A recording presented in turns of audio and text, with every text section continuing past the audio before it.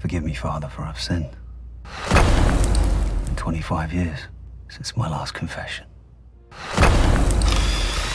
You're not right. You're my son. I know when you're not right. You're doing what you always do. You're kicking off and you're blaming me because you're scared. Scared? What am I scared? I don't know! 25 years ago, I trusted a man. Oh, I idolized him. He said I had something the other boys didn't have. Said I was special. I know about rage. Fuck you, lie!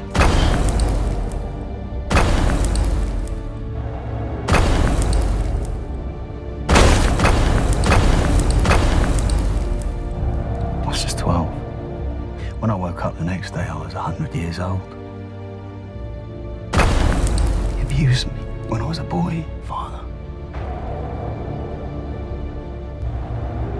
What do you want? Revenge.